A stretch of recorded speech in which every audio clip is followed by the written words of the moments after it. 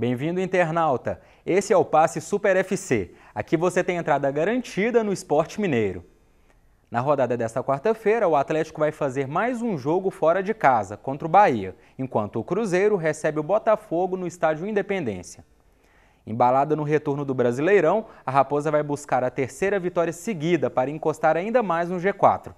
Para escalar o time, o técnico Celso Rotti aguarda a volta de Montijo, que se recuperou de dores na coxa esquerda, mas foi poupado do treino dessa tarde e deve ser ausência.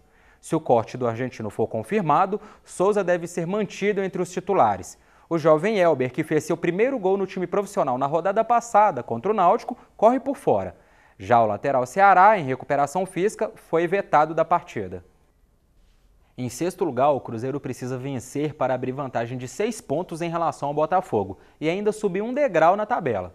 Mas o time celeste só chega à quinta posição se houver empate entre Inter e São Paulo. Os dois têm o mesmo número de pontos que a Raposa. E a bruxa está solta no galo. O número de ausências para o jogo contra o Bahia não para de aumentar. Além do zagueiro Hever, o lateral Júnior César e o meia Ronaldinho Gaúcho, que estão suspensos, o técnico Cuca também não vai contar com o atacante Jô. É que ele sofreu um estiramento na coxa esquerda e foi vetado, sem previsão de volta. E para piorar, Danilinho virou dúvida de última hora. O jogador sentiu a coxa direita na atividade dessa terça-feira e ainda será avaliado. Mesmo desfalcado, o Atlético não pode nem pensar em perder se quiser continuar no topo da tabela. Caso seja derrotado em Salvador e Grêmio e Fluminense vencerem seus jogos, o Galo pode acabar a rodada em terceiro lugar. Confira agora a classificação e os jogos da 22ª rodada do Campeonato Brasileiro. O Atlético segue na ponta com 44 pontos, mesma quantidade do Fluminense, que é o segundo colocado. O Grêmio vem na terceira posição com 41 pontos e o Vasco fecha o G4 com 38. O Cruzeiro está em sexto lugar com 34 pontos. Virando a página, na zona de rebaixamento, aparecem Esporte com 19 pontos, Palmeiras com 17, Atlético Goianiense com 16 pontos e o Figueirense na lanterna com 15 pontos.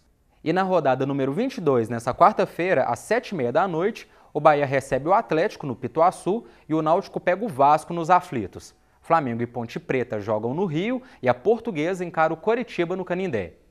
Brigando pela ponta, o Grêmio pega o Atlético Goianiense no Olímpico às 8h30 da noite.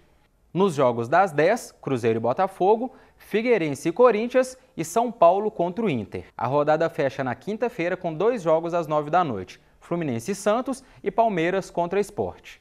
E para ter entrada definitiva no nosso mundo esportivo, acompanhe o superfc.com.br. Lá você encontra todas as informações sobre sua modalidade preferida, além da cobertura completa do Campeonato Brasileiro. E lembre que você está convocado a participar na próxima segunda-feira, às quatro da tarde, do esporte.com, a mesa redonda online dedicada exclusivamente ao futebol mineiro. Um abraço e até lá!